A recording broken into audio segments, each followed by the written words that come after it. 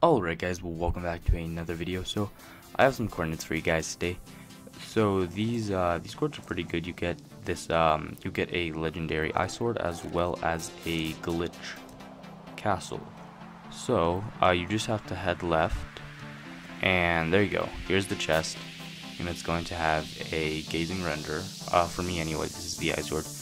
Um, I also got some platinum, some pickles, and some stim packs but if you head a bit more left, you will find several bandit camps as well as a glitch castle.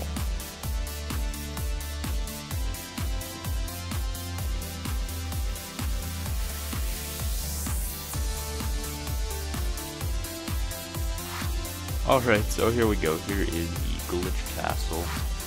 And uh, anyway, the codes will be down in the description below as always. But anyway, that is the video. Thank you guys so much for watching, and as always, have a good day.